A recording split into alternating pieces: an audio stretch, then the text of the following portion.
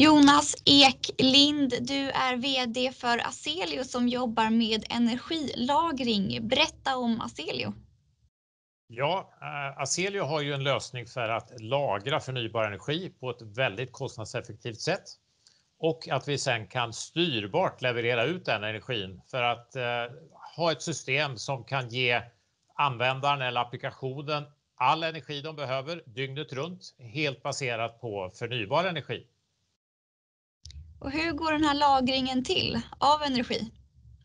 Ja, för att få det här kostnadseffektivt så använder vi då av termisk lagring eller det man säger värme.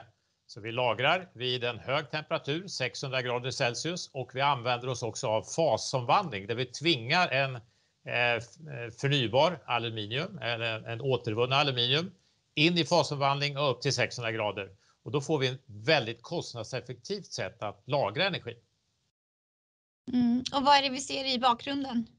Ja, det är vårt kommande eh, projekt som vi tänker att leverera under nästa år då. Eh, vi kan ju då ladda systemet med all typ av förnybar energi. men eh, Det här projektet visar ju då att vi använder oss av huvudsak av solceller för att producera förnybar el som man sedan då använder för att skapa den här termiska energin. Man kan ju också ladda med vindkraft som du också ser lite grann av i bakgrunden då. Ni håller ju på att testa er produkt. Hur långt har ni kommit med det? Ja, vi har ju kört produkten som en produkt sedan i juni 2018 och vi har ju kört den installerad i så här fältprojekt sedan december 2019. Sen delar av systemet har vi ju kört i kommersiella projekt sedan 2009. En nyckelkomponent är ju vår omvandlingssystem. Omvandlar termisk energi till el. Det har vi ju kört i över 2 miljoner timmar. Men där marknaden tittar på, det är ju den formella verifieringen som vi nu håller på med, som då ska leda egentligen till en extern rapport som visar på belåningsbarheten för vår teknologi. Den behöver vi ju ha framme när större projekt ska söka finansiering under nästa år då. Det är ju i den fasen vi är just nu att för omvärlden bevisa på ett externt sätt att det här fungerar precis som vi säger. Vi är ju helt säkra på att det fungerar för vi har ju kört extremt mycket. Vi vet hur det fungerar, att det fungerar, att specifikationen är korrekt. Vi måste ju ha ett bevis från en tredje part när våra kunder ska finansiera sina projekt. Hur många verifikationer behöver ni? Ja, det beror ju väldigt mycket på hur stort projekt man ska bygga. Eh, vi fokuserar ju på lite mindre och medelstora projekt.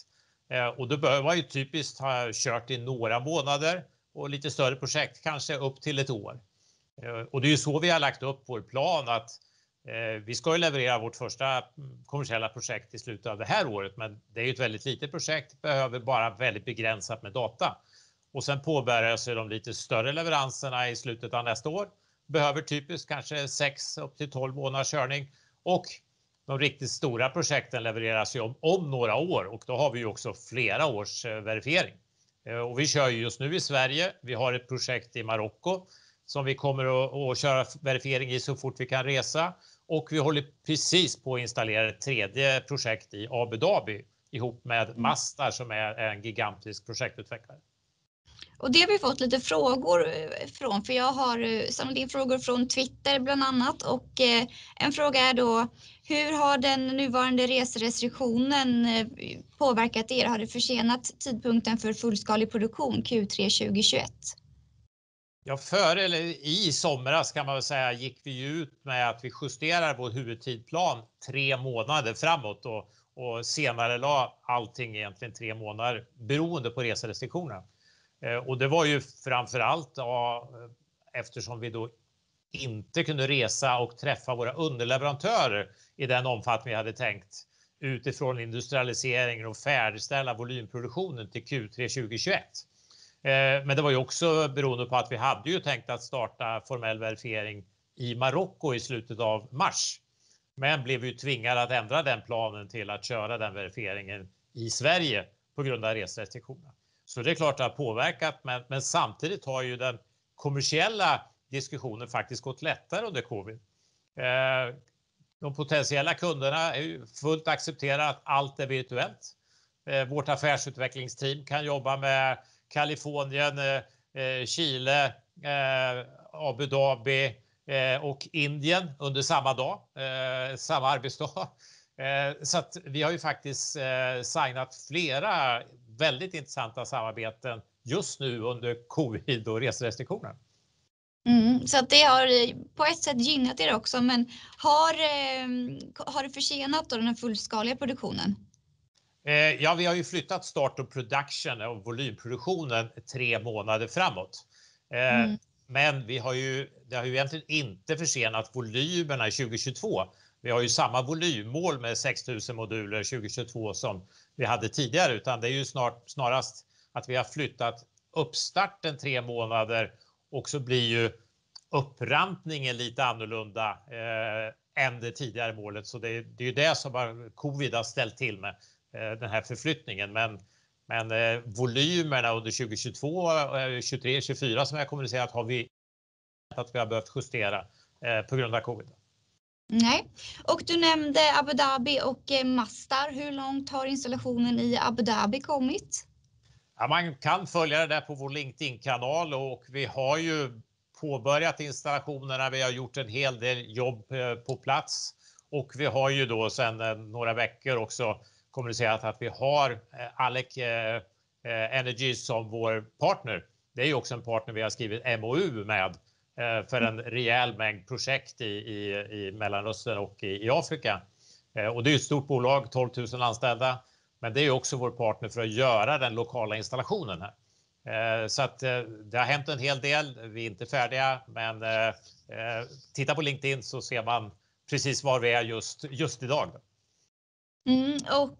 Masdar då, kommer Masdar påbörja verifikationen och utvärderingen före årsskiftet? Det har vi egentligen inte sagt exakt när och hur. Målet är givetvis som vanligt så fort som möjligt. Det är också beroende av reserestriktionerna. Det är givetvis beroende av Masdar och deras tidsplan. Vi gör ju allt vad vi kan för att få i gång det här så snart som möjligt. Har vi mer information om mer exakt tidpunkt så kommer vi också kommunicera det. Har ni fått den första kommersiella leveransen?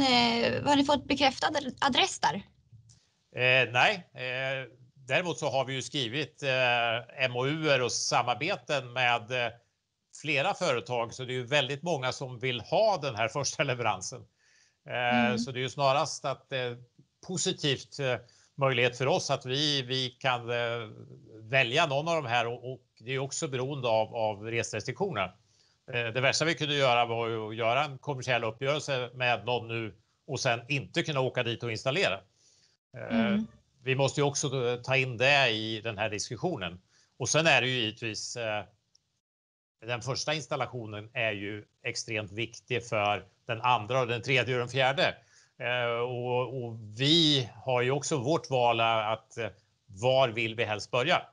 Eh, nu har vi ju framför allt jobbat med att skapa oss möjligheter och skriva MOU:er för både MENA-regionen, senast för Indien. Vi har för Nordamerika, specifikt Kalifornien och vi har för Latinamerika. Vi har också skrivit några MOU:er med några svenska projektutvecklare som tänker sig projekt i södra delen av Afrika. Ja, det är ett, för oss är det ett positivt och intressant val som vi ska göra här i närtid. Kommer ni ta fram försäljningsmål för 2025?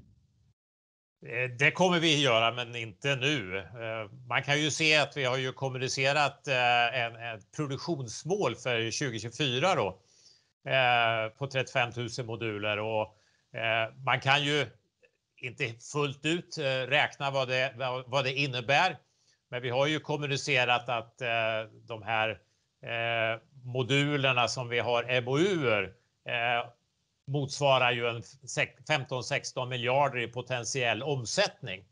Och Produktionsmålet för 2024 är ju högre än det totala MOU, vad vi har skrivit MOU på. och 2025 kommer vi givetvis ha ett högre produktionsmål än 2024 förhoppningsvis då. Hur man än räknar och vrider och vänder på de här möjligheterna och siffrorna så blir det blir det ju extremt intressant. Men vi har inte kommunicerat någon, någon exakt modell för 2025 mer än att vi har sagt att att vi ska sänka det man kallar för LCOE, alltså vår Levelized Cost of Electricity, kostnad för outputen ur systemet från nuvarande 93 till 64 i 2025. Mm. Och eh, slutligen då Jonas, i en värld där alla vill jobba med eh, grön energi, vad är det som gör ert bolag konkurrenskraftigt? Ja, det, det finns ju extremt mycket förnybar energi och, och teknologier för att producera förnybar energi. Men det är den stora, stora nackdelen med eh, just förnybart, det är ju att eh, det inte är styrbart. Det är som man säger intermittent. Det är, det är naturen som bestämmer när du har tillgång till energi.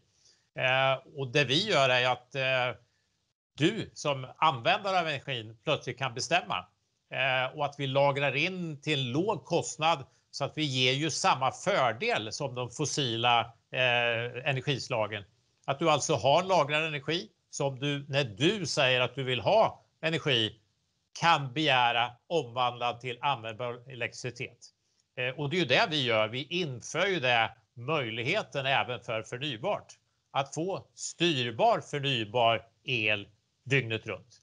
Och det är ju det som är eh, behovet för att verkligen göra övergången från fossil till förnybart. Eh, man måste kunna styra, man måste kunna bestämma och med där måste man kunna lagra mycket förnybar energi till en väldigt låg kostnad. Och det är det Azeli gör. Och hur länge kan man lagra energin? Är det en dag? En natt? I vårt system kan man ju lagra flera veckor om man har lust. Men jag brukar ju säga att det affärsmodellsmässigt så är ju inte det man vill göra. Eh, utan man vill ju använda systemet för att det ska kunna eh, göra sitt fulla användning en gång per dygn eller en gång varannan dag så att du verkligen får en, en användning av din teknologiinvestering. Eh, vårt system är optimerat för på 5-6 soltimmar kunna ladda systemet till fullt. Och sen så har du all energi du behöver för de resterande 18-19 timmarna per dygn. Har du, en, har du en applikation eller affärsmodell så att du vill lagra in energi ena veckan och använda den andra veckan så rent tekniskt kan du använda vårt system. Det funkar jättebra för det. Eh, men för de flesta applikationer, för de flesta användningar så är ju från dag till natt eller från en dag till en annan det optimala systemet för att stötta deras verksamhet och deras affärsmodell. Mm. Tack så mycket Jonas Eklind. Ja, tack så mycket.